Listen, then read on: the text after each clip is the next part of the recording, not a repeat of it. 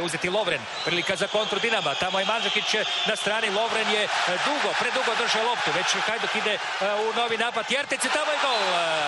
Gol vodi Hajduk 1-0 pogodkom bivšeg Dinamovca Darija Jerteca. Početak četvrte minute, a sve je zakuhao u principu Dea Lovren koji je imao kontru 3 na 1. Pogledajte, umjesto je dodao lijevo Mandžikić ili desno Ković, on se odlučio za najgore, izgubio je. Lopta je u kontri došla do Darija Jerteca koji pogađa i koji otvara vodstvom Hajduka i jučer riješiti. Slobodan udarac za Hajduk. Pet minuta je prošlo. 1-0 vodstvo pogodkom Jerteca. Za sada Spličani malo mijenjaju lopte na stranu. To je Aračić i gol. 2-0. Ante Aračić. Sjajan početak za Hajduk. Šesta minuta. Čovjek koji je dugo, dugo igrao vani pa je doveden na poziciju boka na pojačanje. Evo sada zabija svoj prvi gol u dresu Hajduka, doduše na malom terenu, ali se ne bacaju razni predmeti u teren. Pokušava Vrdoljak i izgubljena lopta Vrdoljaka. Ibričić cijelo vrijeme na terenu. Od prve minute i gol. 3-0. Senija Dibričić. 11. njegov pogodak u ovom natjecanju na dvoranskom turniru. Sada još veća prednost što se tiče utrke za najboljeg strijelca. Pogledajte čim se ostavi na metar dva. Ibričić je neumoljiv. 3-0. Ovo bi mogla biti...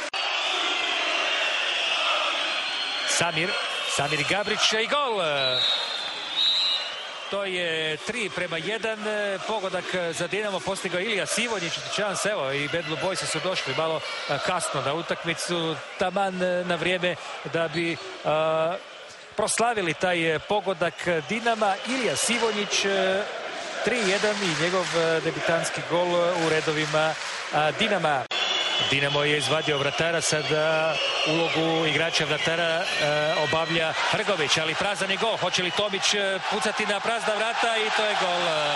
To je gol, evo upisao se i čuvar mreže Hajduka u strijelce, dozvoljeno je pravilima, nije bilo prekida igre i u 22. minuti Hajduk vodi 4 prema 1, možda su malo previše požurili Dinamovci, prerano izvadili golmana i evo to se osvetilo, to je novi gol za Hajduk.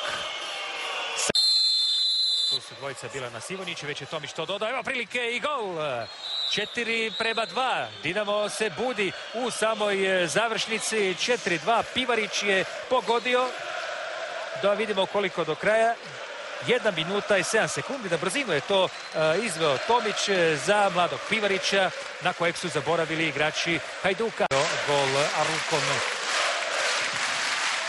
I to još mogao biti i jedan pogodak ni kriv ni dužan. Za 5-1 pogađa Dario Jertec. Za 5-2, oprostite. Dakle, Hajduk Dinamo 5-2.